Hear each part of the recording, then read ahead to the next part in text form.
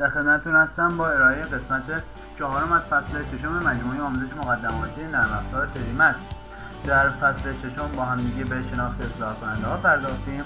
در ادامه این فصل هم می‌خوان با چهار اصلاح کننده دیگه آشنا بشیم و این فصل رو همینجا تموم کنیم. اصلاح کننده هایی که امروز باهاش آشنا بشیم بیشتر در ایجاد انیمیشن کاربرد دارن. خب این فصل نسبتا طولانی هست. به سراغ اولین اصلاح کننده میرم اصلاح کننده یا تبدیل کردن به کره. چی گفت؟ کروی کردن یک سیلندر رو می‌کشم. تعداد segment هاشو بیشتر می‌کنم و اصلاح کننده Spherify رو با ضرب کلید S خیلی زود پیدا می‌کنم. تا یک پارامتر داره اونم percent یا درصد هست که شما می‌تونید با کم و زیاد کردن اون مقدار کروی شدن شکل اولیه خودتون رو مشخص کنید. صفر درصد شکل اولیه شما هست که در اینجا یک استوانه است و 100 درصد هم یک کره هست. اصلاح کننده بعدی ویو یا موج هست. که خب بهتر که یک پلن باش آشنا بشیم. تعداد segment ها در هر محور 100 تا می‌کنم. البته اینجا یک نکته هست. total face هست. face ها رو با هم دیگه در قسمت قبلی آشنا شدیم. مثلث هایی هست که با هم دیگه تشکیل یک مربع یا polygon رو میدن. و خب میشه گفت حاصل ضرب طول و عرض segment های ما. ضرب در دو میشه face های ما. ویو رو با زدن کلید W و enter کردن به پشته یا stack خودم اضافه می‌کنم و پارامترهای اون رو با هم دیگه توضیح میدیم amplitude میاد یک موج سینوسی در راستای ایگرگ برای شما ایجاد می‌کنه.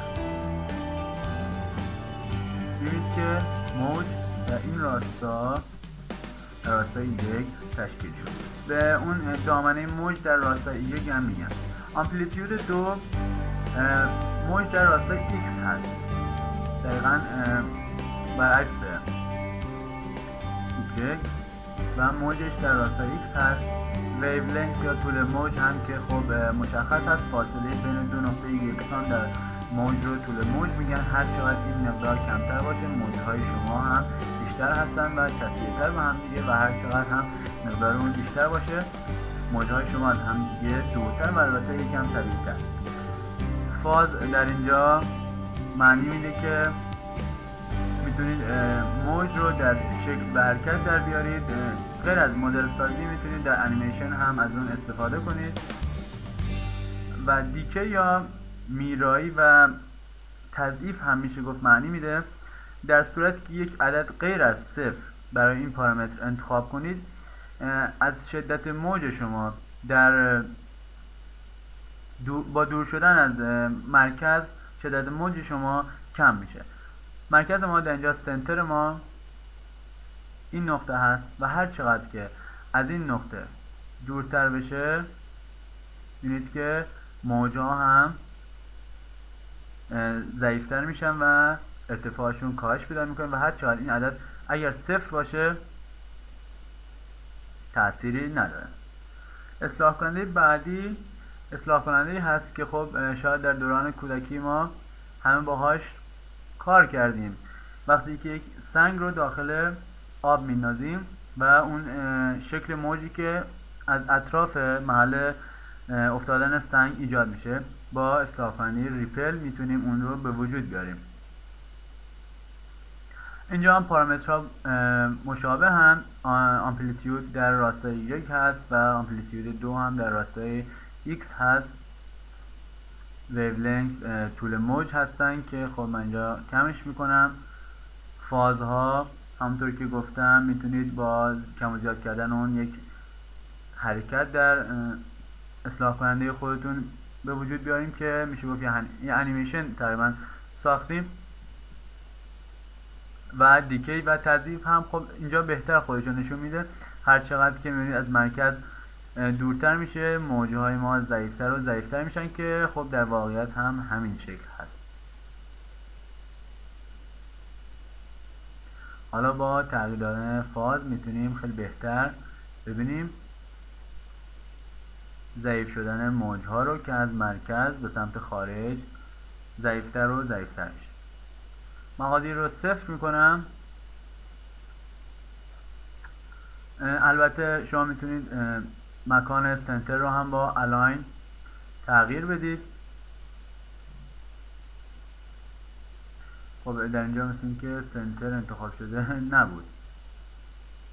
من Center رو انتخاب می‌کنم و حالا اونو در مکانهای مختلفی قرار میدم. با عنوان در محور x اون رو در مینیموم خودش می‌ذارم و حالا می‌تونم با مقدار دادن به مقادیر فاز به مقادیر Amplitude و همچنین ویولنگ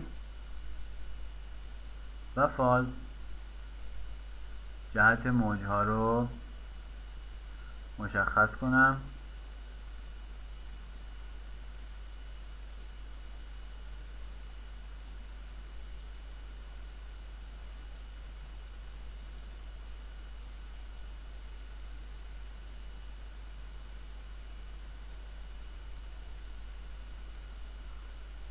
خب. میریم به سراغ بعدی. بعدی اصلاح کننده نویز هست. برای ایجاد ناهمواری یا برجستگی و فرورفتگی های بیقاعده و نامرتب روی حجم به کار میره تقریبا حالت بارش بارون توی یک استخ یا حالت سیمان سفید روی دیوارها رو میشه گفت تداعی کننده هست. تعداد segment های ما هم که مشخص هست. با زدن کلید N خیلی زود نویز پیدا میشه. در اینجا با هم دیگه پارامترهای اون رو توضیح میدیم. برای مثال بیایم پارامتر Scale رو برابر با دو قرار بدیم. در گروه استرنگ Z رو برابر با 3 قرار میدم و همچین نتیجه حاصل میشه. خب پارامترهای اصلاح کننده نویز عبارتند از سید یا تولید کننده شکل تصادفی به جای هر عدد یک شکل موج خاص ایجاد میشه. در بلندر هم همچین حالتی هست که البته اونجا نمودش بیشتر است.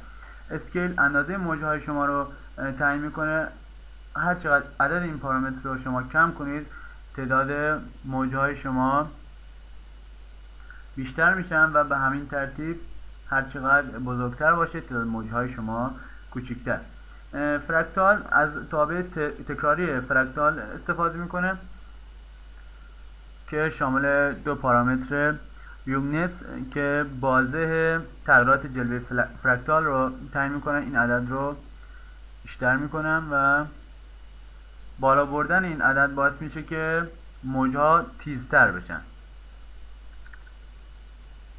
و Iteration هم تعداد تکرار تابع Fractal رو تعیین می‌کنه.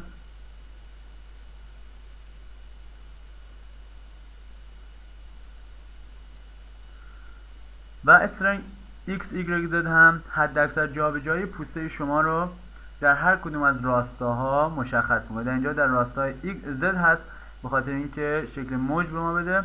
در راستای z ما اون رو تغییر میدیم. اگر در راستای y اون رو تغییر بدیم می‌بینید که به چه شکل در میاد.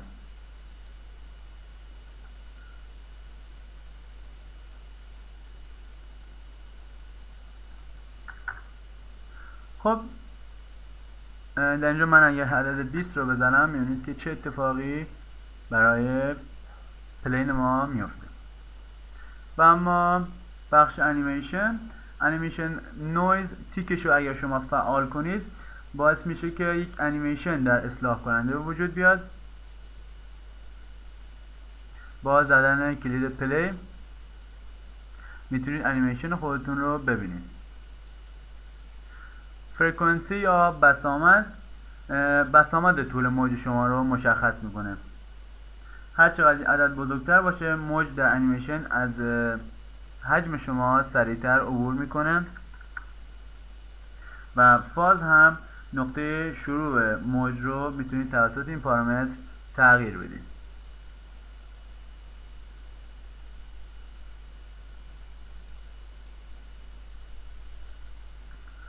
خب در اینجا فصل ششم و فصل شناخت اصلاح کننده ها به پایان رسید. در دو فصل بعدی با هم دیگه با اشکال دو بعدی کار می‌کنیم. شاید از خودتون بپرسید که نقش اشکال دو بعدی توی یک نرم افزار سه بعدی چیه؟ در جواب باید بهتون بگم که اشکال دو بعدی مثل خط یکی از مهمترین عناصر توی مدل سازی سه بعدی البته کاربردهای دیگه هم دارن از کاربردهاشون می‌تونیم به ساخت یک مسیر برای کپی کردن اشیا و حرکت دادن اشیا اشاره کنیم. برای کپی کردن اشیا با ابزار Spacing Tool در فصل کپی کردن آشنا شدیم و با هم دیگه یک ریل, رو، ریل راه آهن رو ساختیم. در دو فصل بعدی که کار با اشکال دو بعدی رو با هم دیگه یاد بگیریم بعد از این دو فصل می‌تونیم خیلی راحت مدل سازی رو انجام بدیم و مدل سازی رو شروع کنیم.